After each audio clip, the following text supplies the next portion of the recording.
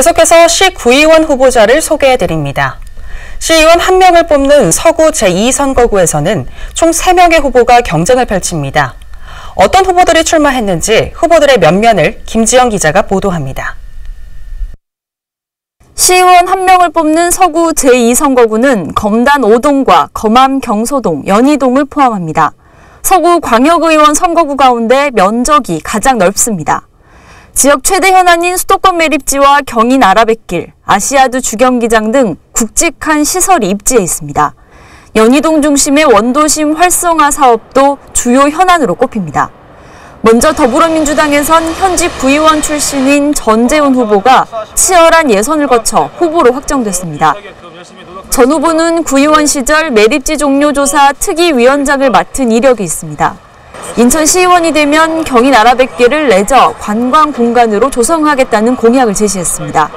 또 인천 서북부 종합터미널을 연희동으로 끌어오겠다는 포부입니다. 이 서북부 터미널을 지금 종합 터미널을 유치하는 중이에요. 근데 그거를 연희동 쪽으로 유치할 수 있는 공간이 있기 때문에 그렇게 했으면 좋겠고 경인 아라뱃길을 이제 물류에서 이제 문화, 레저, 또 관광, 또 공원화를 좀 추진하고 싶고 자유한국당에선 신충식 인천시 청년특별 보좌관이 출마했습니다.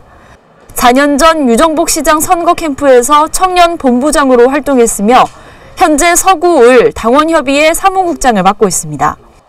인하대 체육학 박사 1호 출신인 신 후보는 무엇보다 건강한 서구를 만들겠다는 각오입니다.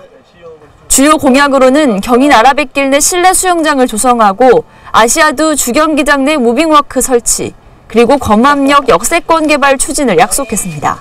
어, 역세권 개발입니다. 검암 역세권 개발. 예, 검암 역세권 개발 통한 지역 경제 활성화 가, 장 필요하고요.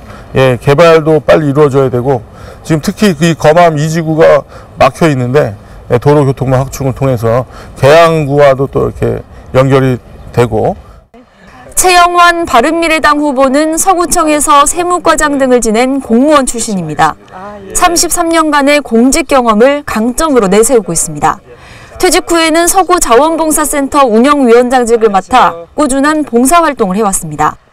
최 후보는 특히 연희동에 도심공원을 조성해 서구의 허브 녹지로 만들겠다고 공약했습니다. 연희 공원 조성이 저는 시급하다고 봅니다. 국민 우리 주민들의 건강 문제나 녹지 문제가 참 중요하잖아요. 그래서 그 뉴욕의 센트럴 파크 같은 공원처럼 항상 거닐 수 있고 또 노약자들이 상시 이제 접할 수 있는 그런 공원을 빨리 조성되고 3대 1의 경쟁률을 보이고 있는 서구 제2선거구.